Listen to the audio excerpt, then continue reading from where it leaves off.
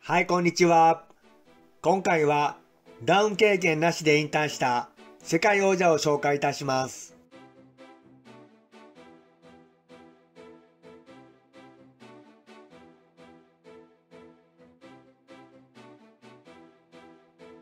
ロシア系カザフスタン人のゲンナジー・ゴロフキンはアマチュア時代300以上の勝利を積み重ねプロ入り後は WBA、WBC、IBF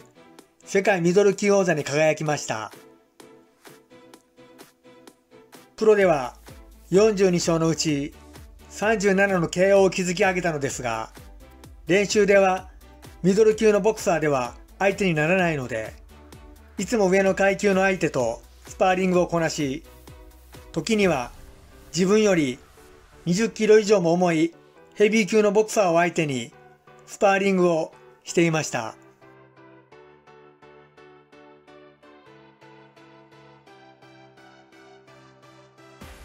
ゴロフキンは強力なパワーパンチはもちろんですが、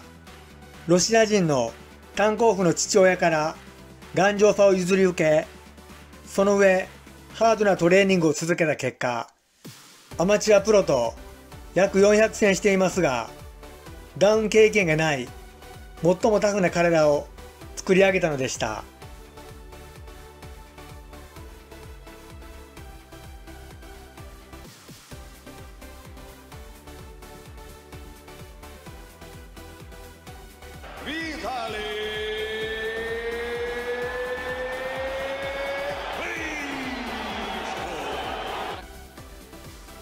ウクライナ出身のビタリ・クリチコは、キックボクシング、アマチュアボクシングを経て、プロデビューし、45勝 41KO、2敗の戦績を残しました。2メートルの身長から繰り出す左ジャブと右ストレートはとても強く、ほとんどの試合を KO で飾っておりました。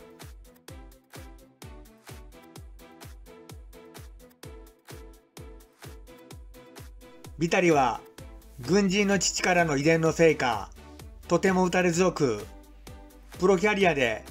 ダウンしたことがなく、敗れた2敗はいずれも試合中の怪我で終わった試合で、途中まではビタリがポイントでリードしておりました。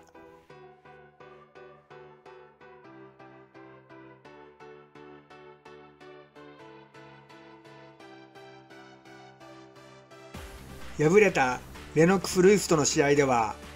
ルイスの強打を受けてもビタリが下がるシーンは少なくまたルイスの強烈なアッパーを受けても耐え抜きました。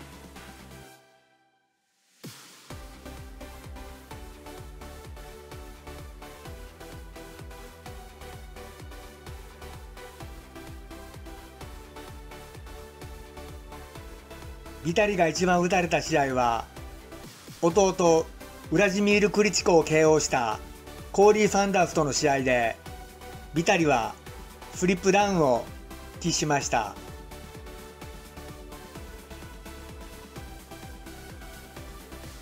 序盤サンダースのサウスポーからの左ストレートが効果的でサンダースがペースを握りました。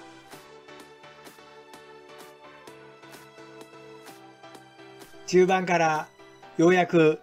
自力に勝るビタリが挽回し、迎えた第8ラウンド、強打を炸裂させ、得意の右ストレートが連続でヒットすると、レフリーが戦いを終焉させました。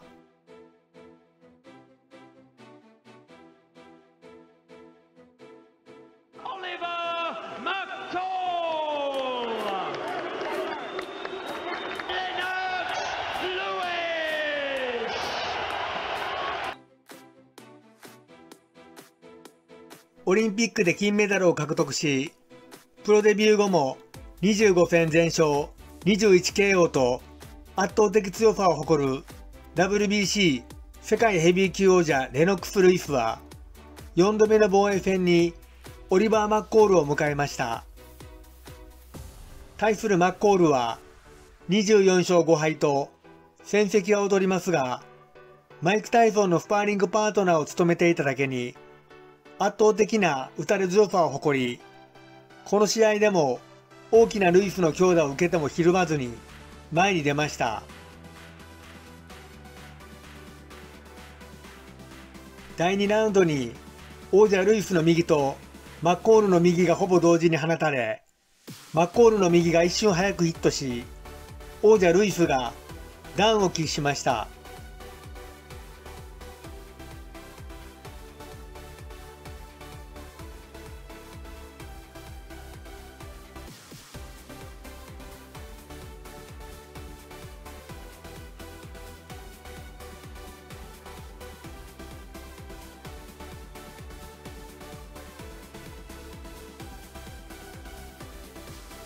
ルイスから王座を奪ったマッコールですが、その後、ブルーノに敗れて陥落し、WBC 世界ヘビー級王座決定戦で、再びマッコールとルイスが相まみえました。この試合の前年に、マッコールはマリファナやコカイン所持で逮捕されており、精神状態が不安定でした。マッコールはおそらく試合の準備も万全でなく、一方的にルイスの攻撃を浴び、精神が余計に乱れ、試合ができる状態でなくなってきました。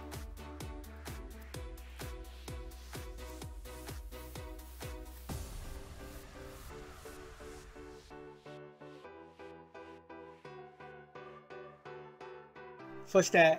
マッコールは第4ラウンドが始まって攻撃を受けた後、戦意を喪失したようで攻撃を放棄し、ルイスの攻撃を受け続け、なんと第4ラウンドは一発もパンチを出さなかったのです。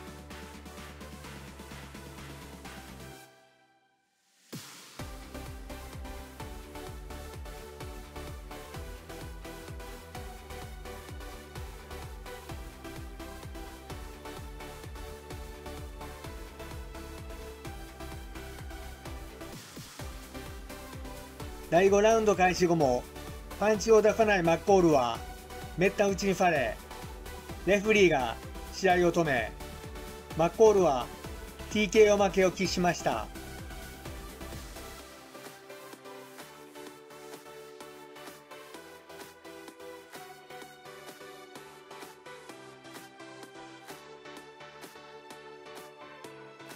精神病院入院や度重なる逮捕などで何度かブランコを作りましたが、2018年まで戦い続け、75戦し、14敗もしましたが、前世紀のタイソンのスパーリングパートナーを務め上げただけに、プロキャリアで一度もダウンがなく、引退しました。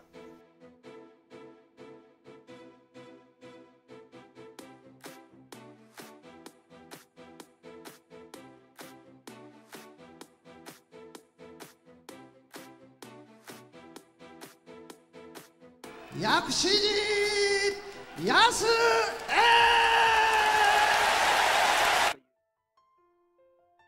元 WBC 世界バンタム級王者薬師寺康江選手はデビュー当時からガードを高く上げ硬いガードを誇っていたせいでプロキャリアで敗れたファンハイはいずれも判定負けでダウンを喫したことが一度もないまま引退しました。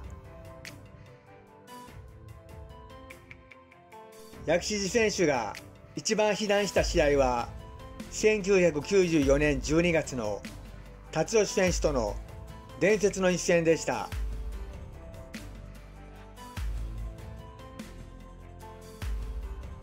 辰吉選手はロープに詰めて連打を放ちますが薬師寺選手は硬いガードで防御しダメージを最小限にとどめ距離ができれば左ジャブとワンツーをヒットさせ、中盤から薬師寺選手の距離で戦う場面が多くなりました。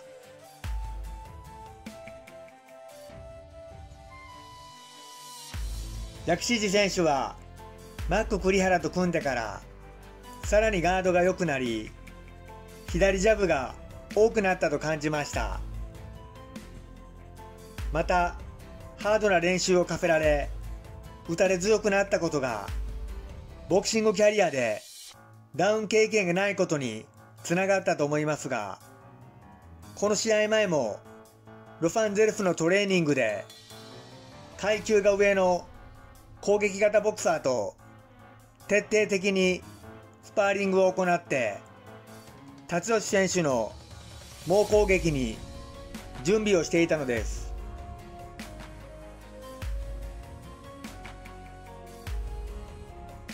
マック栗原は辰吉選手が中盤以降失速することと目が腫れやすいことを見極めそこからファイトプランを組み立てポイントが不利な辰吉選手の終盤の猛攻撃に対しての準備も万全で辰吉選手のものすごい連打に薬師寺選手は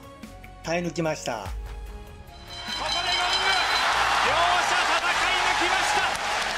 115対114薬師寺。薬師寺です。